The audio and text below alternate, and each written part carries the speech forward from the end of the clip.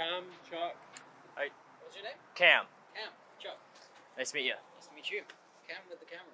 Yes, Yeah. indeed. I'm sure you've heard that joke today already. It's a spot that was always going to be one spot. Um, let's go. so yeah, here we go again. Here we go again. How do you feel? Much the same as last time. Well, it's the same as last time. Yeah. Oh, I like. Yeah, I wouldn't be surprised if it's a similar disaster last week. Last week wasn't a disaster though. How has this month and a half made you feel up to this point? It's made me feel like. It's made me sort of comprehend and understand a little better how much work I need to put in to get it as good as I want to get it. I think like a huge part of it just keeping keeping up to practice. What I historically have not done. To follow your dream, so to speak, does you like before you'd even done this, you would have understood it takes a, a high level of commitment, right? Yeah. And I understand that you, even though this is something that you want to do, you're being pushed into it to a certain sort of degree, which I actually stand by because I think it's Oh, a necessary evil, so to speak. It is, mate. You actually done me a huge favour. Do you feel that this has made the idea of approaching this and committing to this, uh, approaching this as full time and committing to this as more daunting, or has even having jumped in at this point made it feel more manageable and less of a kind of walk into the unknown? Both. Right? It is more daunting. Like, there's a lot more to think about than you necessarily think about as a, as a mere passerby. hmm There's a lot more stress, I think, to the whole performance aspect or the build up to the performance than I really gave it credit for. Um, but equally, you know, I still have the same vision that I had before.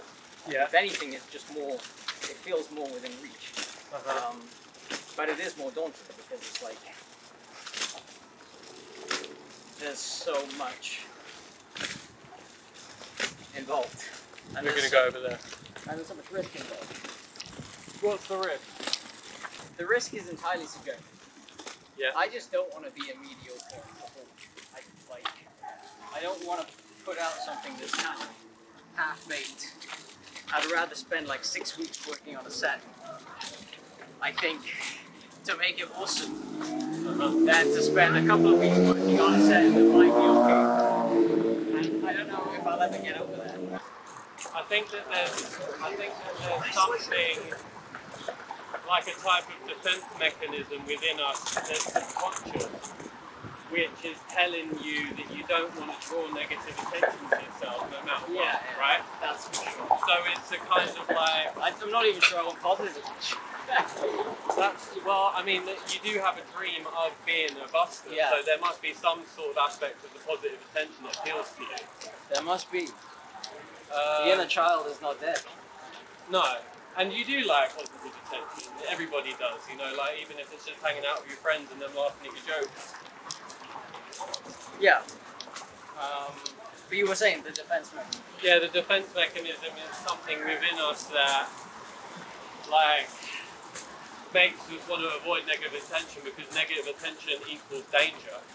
Right. And it is a high level function of us to override that. It, even for the best of people who can do it, it takes time and practice and the repetition, not of doing the actual technical stuff, yeah. but just knowing that it's going to be fine. Yeah. You know, like everybody feels nervous at for anything they're doing for the first time, really. That is true.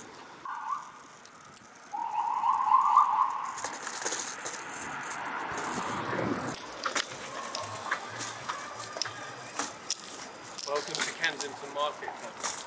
Yeah.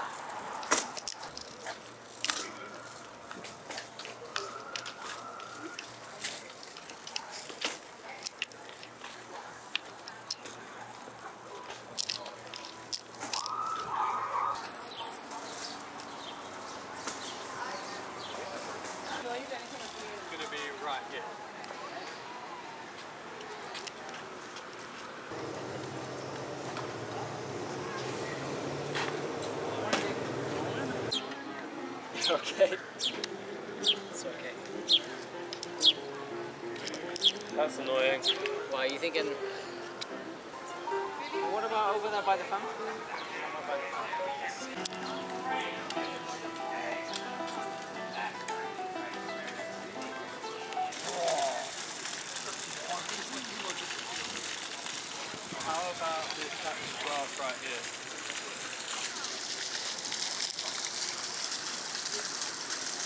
Do you think? Sorry, mate. do, yeah.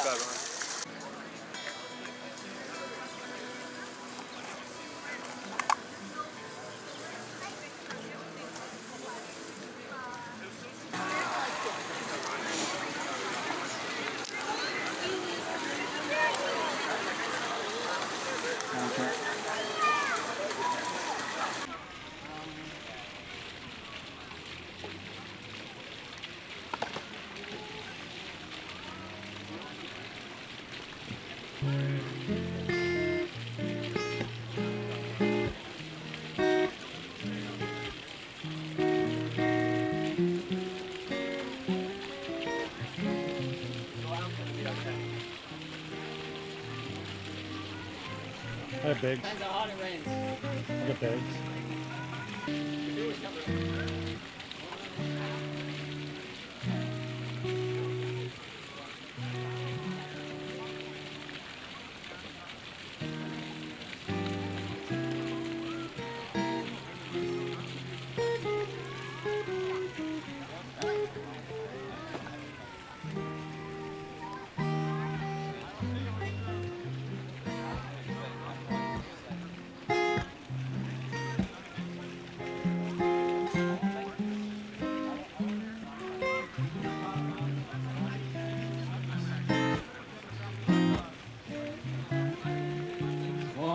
I lived the life of a millionaire. Spent all my money, didn't have any care. Took all my friends out for a mighty good time. Bought bootleg liquor, champagne and wine. Then I began to fall sore. Lost all my good friends, had nowhere to go. I get my hands on a dollar again. To Nobody knows when you're down and out. Your pocket not one penny. And as for friends, you don't have many.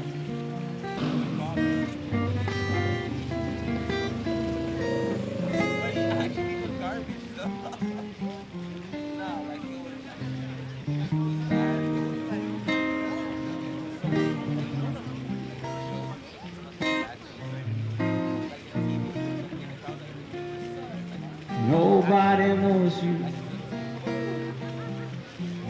down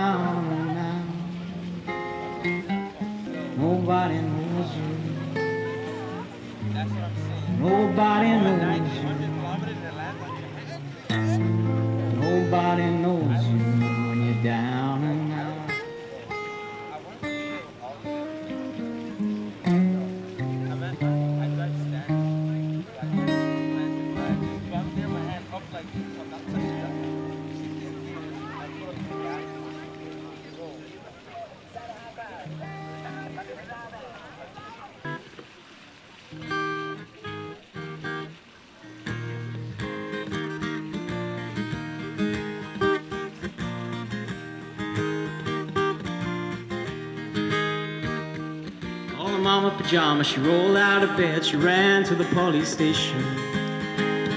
When the papa found out, he began to shout and started an investigation. And it's against the law, it was against the law. What the mama saw, it was against the law. All the mama looked down, she spits on the ground every time my name gets mentioned. Papa said, I forget that boy, I'm gonna stick him in the house of detention. Well, I'm on my way now. Don't know where I'm going, but I'm on my way. Taking my time, but I don't know where. Goodbye to Rosie, the queen of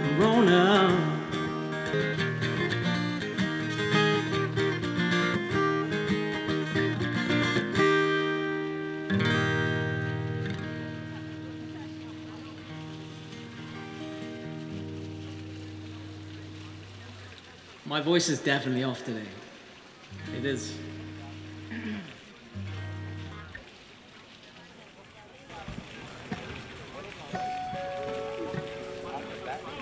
I'm a little bit closer. Hear what I have to say.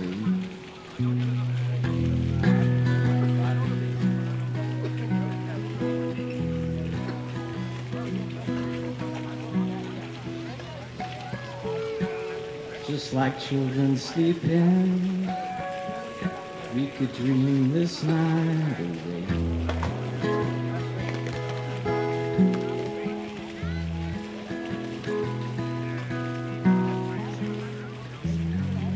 But there's a full moon rising. Let's go dancing in the light.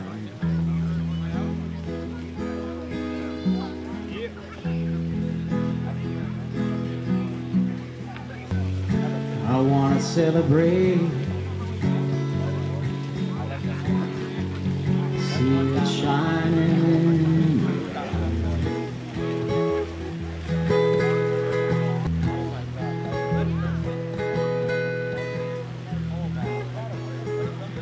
On this harvest moon.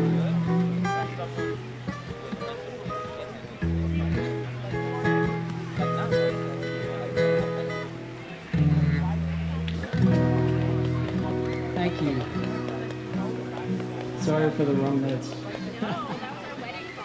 Was it? It's a great one. As long as she enjoyed it.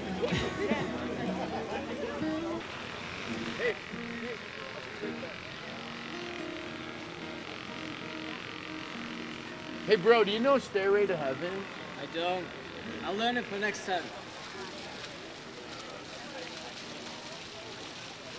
Stairway and Wonderwall are the two most requested busking songs ever. I feel like oh. Play some punk rock. I don't know any. Folk rock.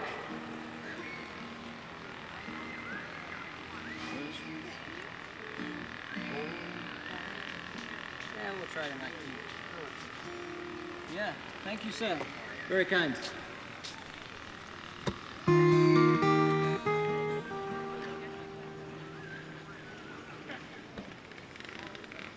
Donations are not obligatory, but they are welcome.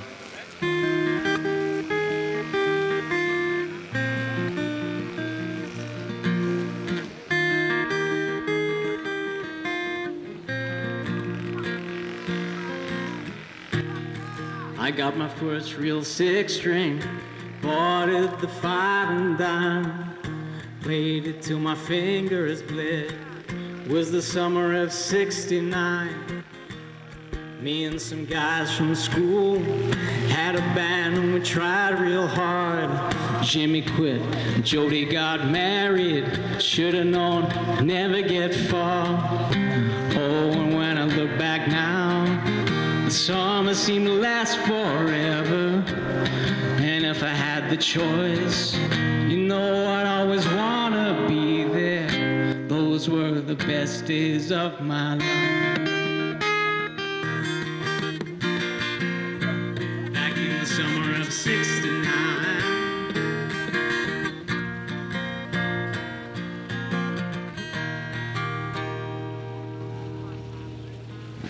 Bridge.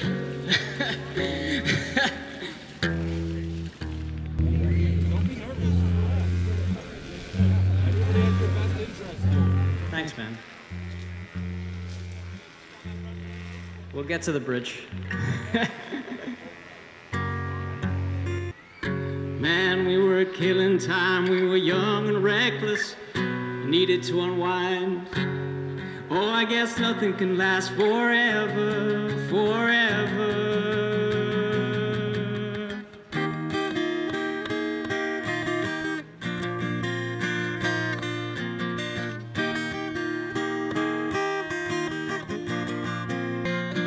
It was the summer of 69.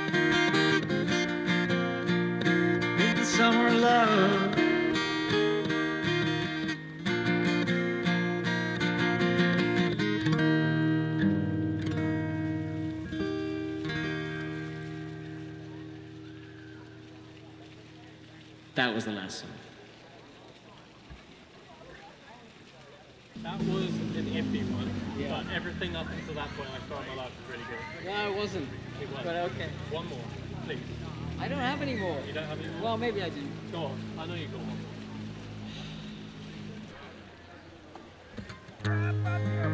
Get the fuck out of here.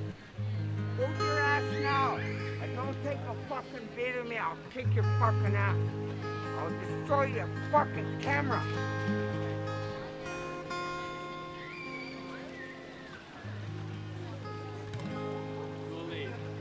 One more song. One more. One more song. Get the fuck out of here. Are you the sheriff?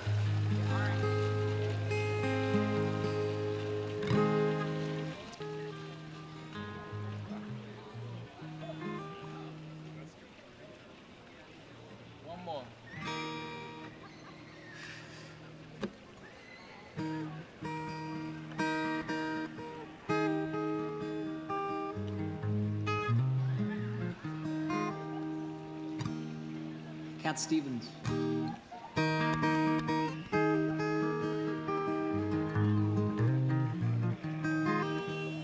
I'm being followed by a moon shadow, moon shadow, moon shadow.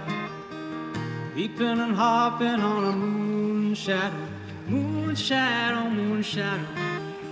And if I ever lose my legs, I won't moan and I won't beg. If I ever lose my legs away, I won't have to walk no more. And if I ever lose my eyes, if my colors all run dry, if I ever lose my eyes away, I won't have to cry no more. If I ever lose my mouth, all my teeth, north and south, as if I ever lose my mouth away, you won't have to talk. Cause I'm being followed by a moon shadow, moon shadow, oh, moon shadow. Leaping and hopping on a moon shadow, oh, moon shadow, moon shadow. Oh, moon shadow, moon shadow. Oh, moon shadow, moon shadow.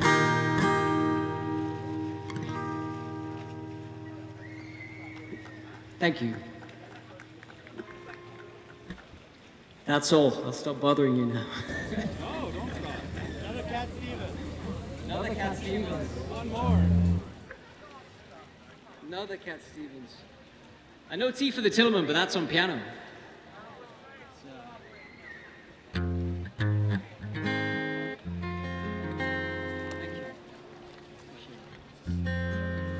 I'm gonna maybe do another Cat Stevens one.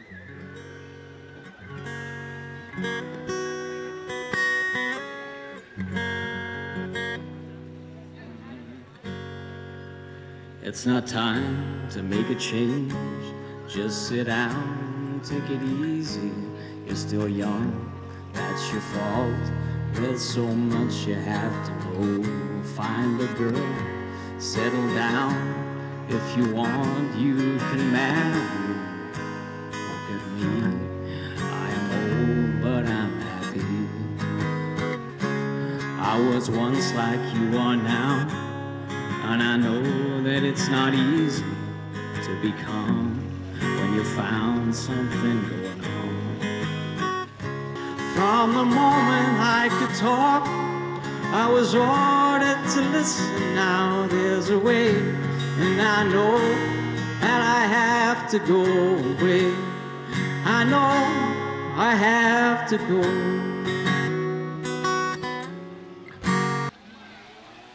Did you want to do a song? I feel like you guys play. you know?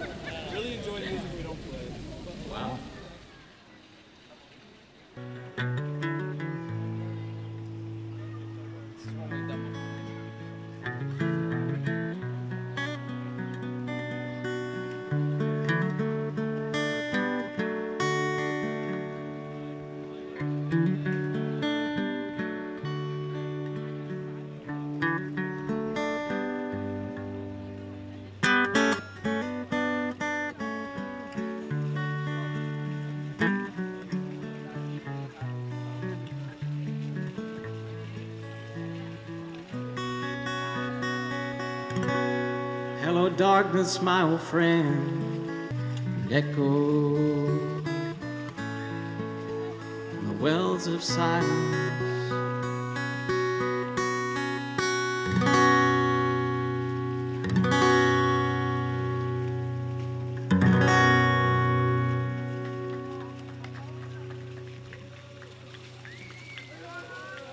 That was the lesson. Thank you. Yeah. Thank you for suffering my, uh, I don't know, ordeal pollution. There you go. Far front of that. Well, I feel like I should give you a little fucking hug. Oh, right. Okay, fine. Give you a hug. Thanks.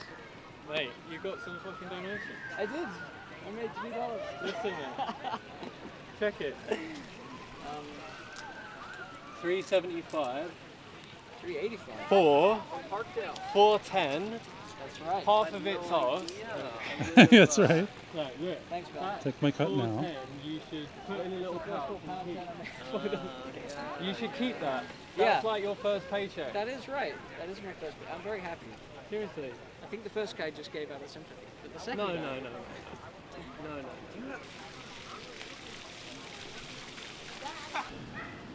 Uh, what, how do you think that went?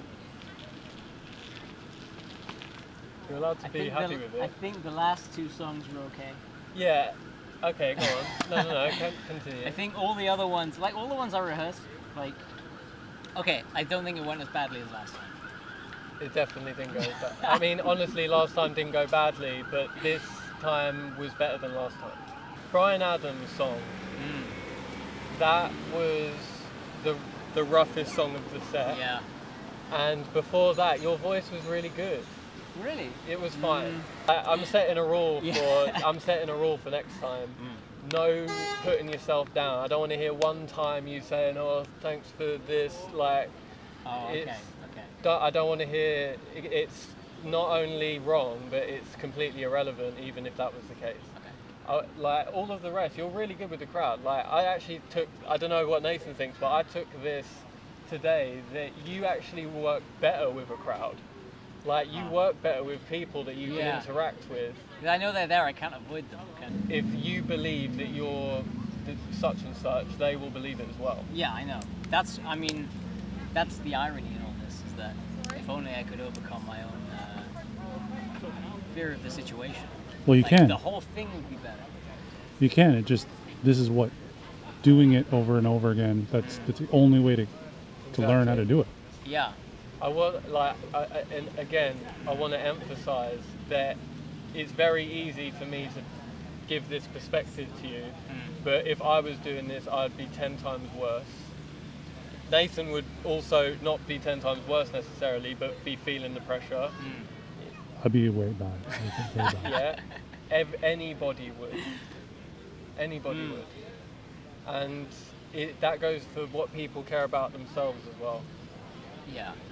So you kind of have to like take that on board. Like really, you should be giving yourself a really big pat on the back for um, having a really great set and reaching a milestone of getting some money from it. Yeah. That is.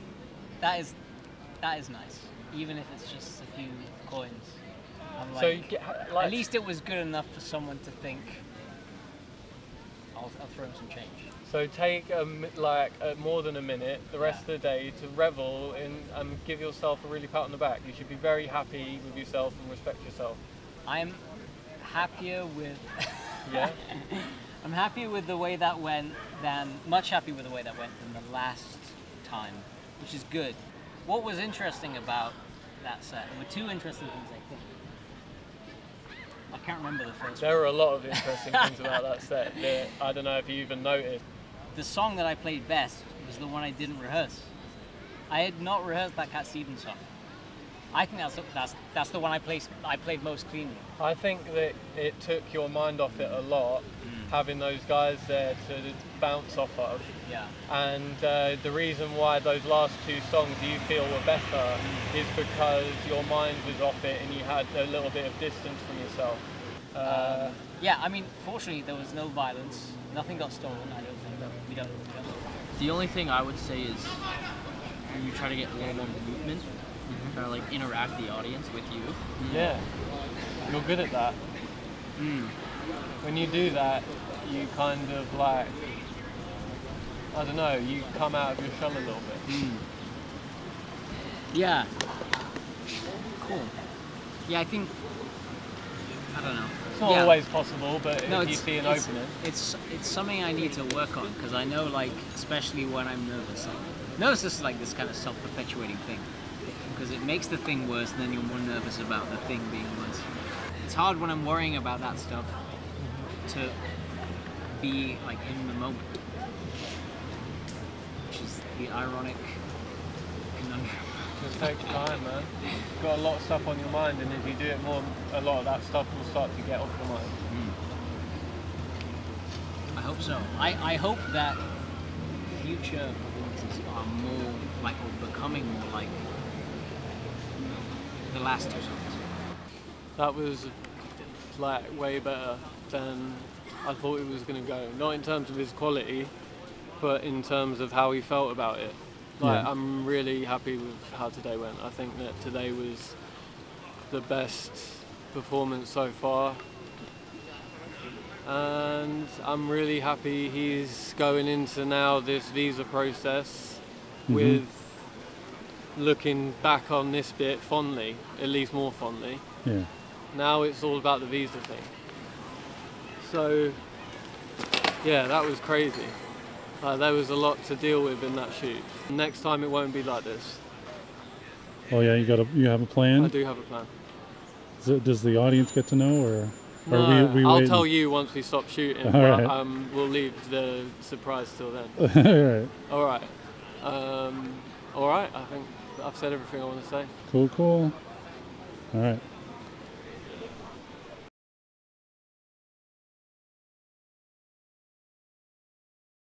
Thank you very much for watching. It means the world to us and we hope you can join us for Chuck's journey and support him. Chuck just watched episode 4. What did you think of that, Chuck? I liked episode four. He liked episode 4. Please like, share, comment, subscribe and click on any of the links in the description. It's just a few clicks.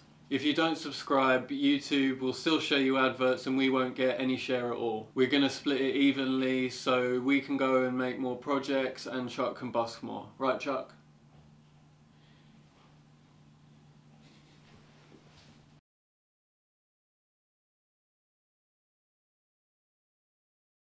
I it in the 50s and 60s and 70s and 80s, but I went north.